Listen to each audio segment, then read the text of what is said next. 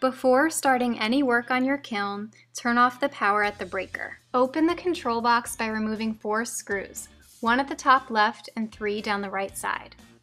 You will see the white oval thermocouple connecting blocks attached to the heat shield. Note that each thermocouple lead wire is divided into a red and a yellow side. Remove the screws that hold the connecting block to the heat shield and pull the thermocouple out. Loosen the two inner screws that hold the thermocouple probe wires in place and remove the probe from the block. Remove the tape that holds the ceramic covers in place.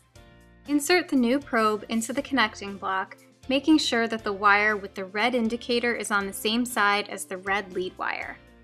Tighten the inner screws that hold the probe wires in the block and insert the new thermocouple into the kiln. Reattach the connecting block to the heat shield. Close the control box and replace the screws.